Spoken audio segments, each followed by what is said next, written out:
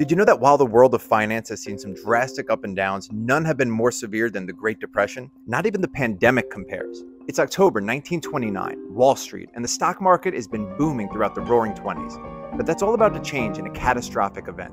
In what's now known as Black Tuesday, stock prices plummet, signaling the start of the most severe economic depression in modern history. With financial uncertainty at an all time high, banks failed, and the global economy was sent into a tailspin.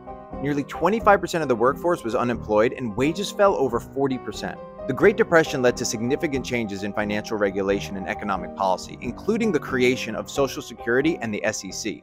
So the next time you think you have it bad, remember there will always be a time when it was way worse. And the accountants out there can tip their hats to the regulations created with each economic downturn, offering more job security for them.